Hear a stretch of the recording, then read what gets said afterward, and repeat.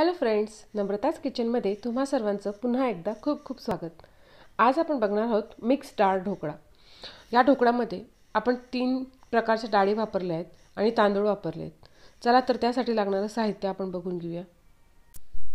चला तर त्यासाठी लागणारं साहित्य बघूया. हे सर्व साहित्य मी एकाच वाटीने मोजून घेतलं आहे यासाठी मी या छोट्या वाटीने चार वाटी तांदूळ मोजून घेतलेत. एक वाटी मूग डाळ घेतली तीन वाटी हरभरा डाळ आणि दीड वाटी उडीद डाळ घेतली आहे आणि याच वाटीने दोन वाटी पोहे मोजून घेतलेत आता मी एकाच भांड्यामध्ये सर डाळी आणि तांदूळ मिक्स करून हे सर्व स्वच्छ धुवून भिजत ठेवणार. आहे मी पोहे यातच भिजत नाही घालणार. आहे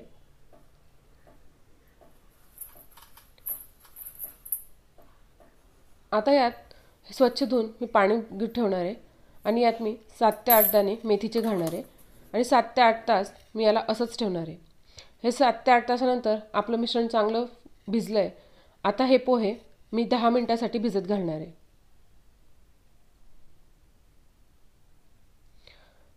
पोहे भिजतील तोपर्यंत आपण तांदूळ आणि डाळ बारीक करून घेणार आहोत.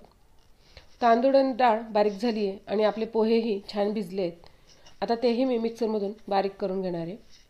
आणि हे सर्व मिश्रण मी एकत्र करून सात ते आठ तास असंच झाकून ठेवणार आहे. मिश्रण वाटून झाल्यावर ते एका उबदार ठिकाणी ठेवायचे. सात ते आठ तासानंतर आपण चेक करूया. आपलं मिश्रण छान वर फुलून आलं आहे आणि फर्मिटही छान झालेले. आता हे पुन्हा एकदा छान मिक्स करून घेऊया. आता आपण ढोकळ्यासाठी लागणारा मसाला तयार करून घेऊया. एका मिक्सरच्या भांड्यात मी दोन चमचे साखर घेतली आहे हिरव्या मिरच्या घेतल्या आहेत आलं लसूण घेतलं आहे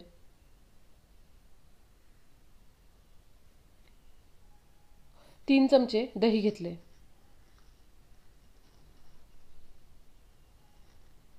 नंतर हे मी मिक्सरला छान बारीक करून घेणार आहे. आता ही तयार झालेली पेस्ट मी आपण तयार करून घेतलेल्या बॅटरमध्ये घालणार आहे. यातच मी मीठ वापर घातलं. आणि आपण तयार केलेली पेस्ट घालून घेणार आहे. नंतर यात एक ते दीड चमचा धनेजिरे पूड घालणार आहे हळद वापरणार आहे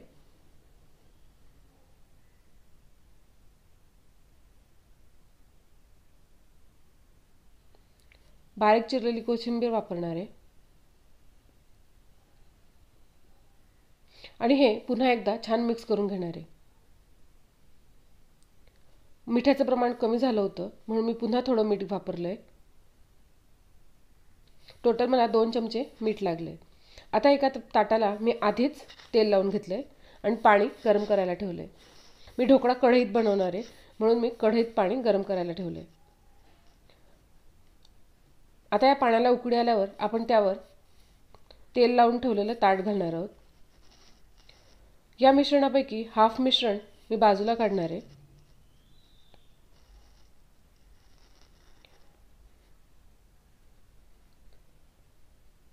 यात मी अर्धा चमचा इनो वापरणार आहे. इनो ॲक्टिव्ह व्हावा यासाठी मी त्यावर तीन ते चार थेंब पाण्याचे घालणार आहे.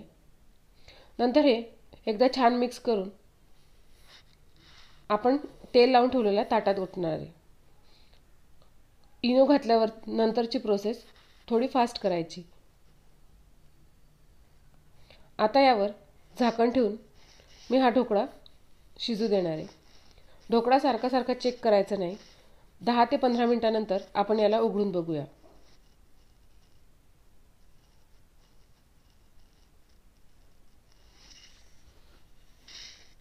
दहा ते पंधरा मिनटं झालेली आहेत. आता मी ढोकळा चेक करणार आहे.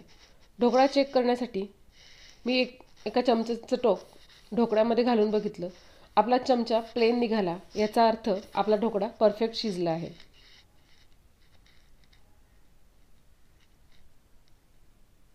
आता ढोकळा थंड झाल्यावर त्याला कट करूया. आता आपण त्यासाठी लागणारी फोडणी तयार करून घेऊया.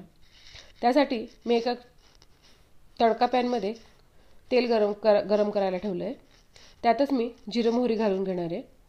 कढीपत्त्याची पानं घालणार आहे. तुम्हाला आवडत असल्यास तुम्ही यात साखरही घालू शकता.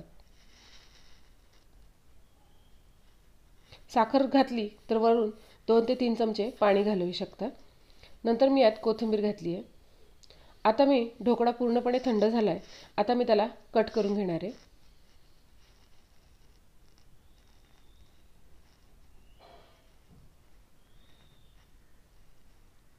आता आपण बनवून घेतलेली फोडणी मी यावर घालणार आहे.